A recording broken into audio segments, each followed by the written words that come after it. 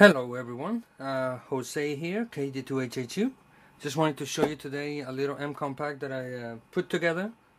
Uh, met up with uh, Akins last year at the uh, LIMARC Hamfest in Long Island. And um, that got me interested into uh, doing something uh, portable.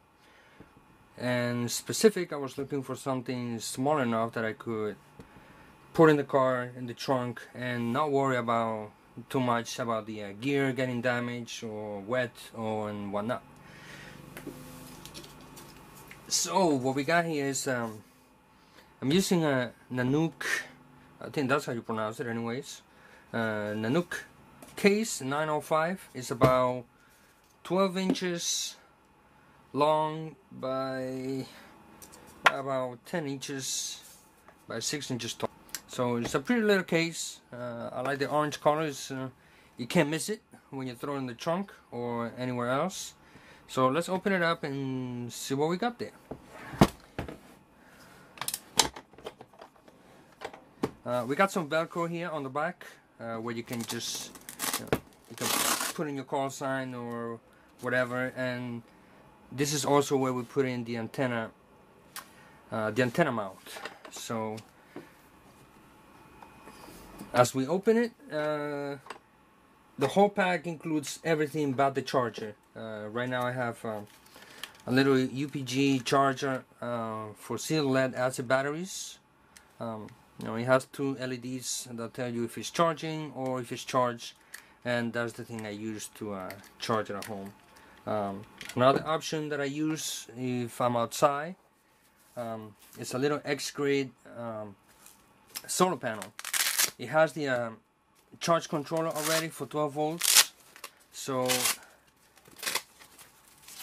when you open it up, this is the solar panel. It puts 9 watts. It helps you keep the uh, the battery, uh, you know, topped off or tender, uh, however you want to call it. So if you're outside, you just plug it in, and it will keep your battery running while you're not transmitting, obviously. So just to keep it topped off. So inside of the package, uh, we got a dual band telescopic antenna. This one in specific is an AL800 uh, VHF UHF. I had another one uh, which broke because it was um, very flimsy.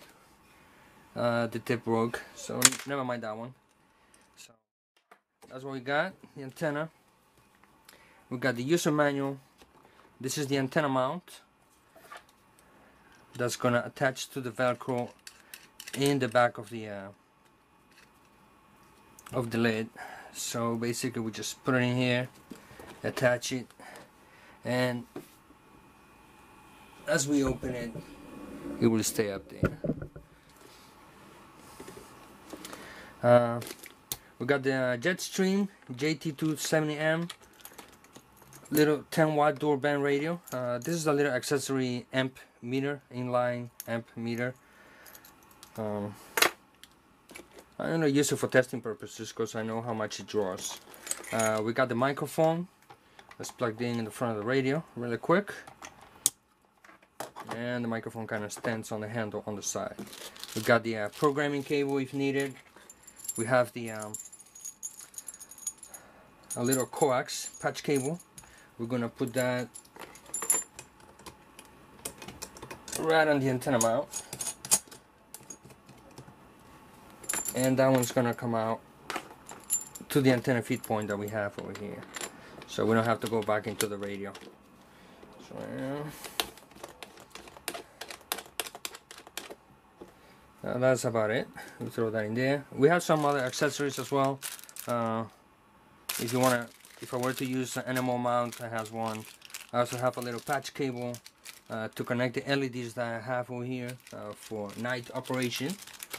And that one gets tucked in there. Uh, this is a 7 amp uh, seal lead acid battery. Um, I got from a Quicksilver radio and also from Quicksilver radio I got this uh, BattMon topper thing it just attached to the battery gives you the voltage and it has two outputs one fused and one unfused. So I do have it marked. Basically we just plug it in and there it goes. Turn it on. Radio is on. And the back over here we have a cigarette lighter that helps out to uh, charge it. Everything is connected to it. And two USB ports if you want to charge your devices. So AA2GC listening.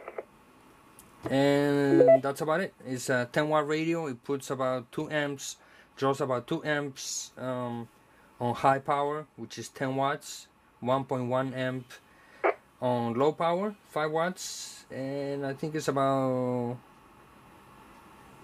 0.3 amps on standby something like that. So that one with this battery I should be able to get uh, on high power I should be able to get two hours of continuous. So realistically I was looking for four hours of normal use time.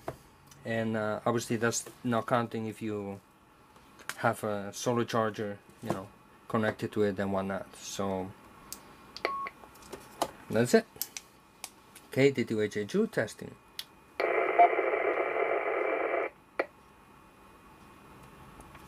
And that's uh, that's the tour of the radio. Nice little radio 10 watts. And um, that's what we got working on. Right now the uh, lights the LED lights are a little too bright. Uh, very bright. So I might just take out these three over here and just keep the two on the top because it was very very bright Welcome to the WB2HWW